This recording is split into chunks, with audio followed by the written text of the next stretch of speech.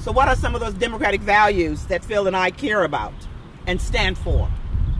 We believe in equal opportunity for all and privileges for none. Government of, for, and by the people, not the special interest.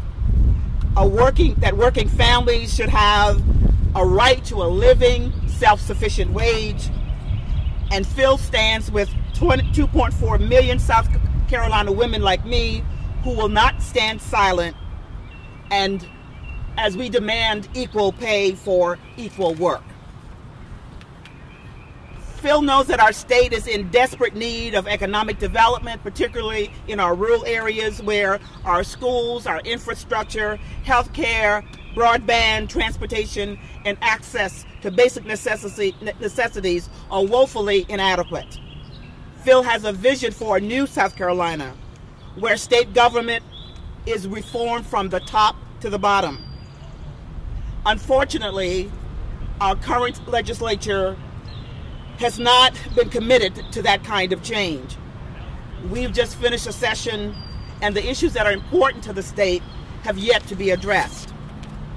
So the question for us in this election cycle is similar to the one that was raised by my shero, the late Honorable Congresswoman Barbara Jordan, in 1976 at the Democratic National Convention when she said, Are we to be one people bound together by a common spirit, sharing a common endeavor, or will we become a divided nation?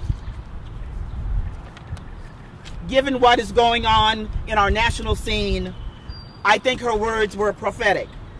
In closing, I'd like to paraphrase her comments by saying this to, to South Carolinians.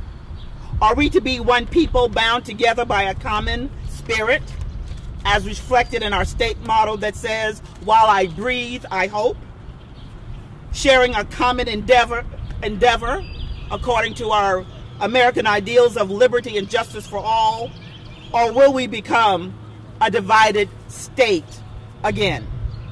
I believe Phil Noble, as governor of South Carolina, can lead this nation in forming a more perfect union. We will set an example. He will set an example. And as for me and my community, we stand with Phil for a big change, for real reform right now. Thank you.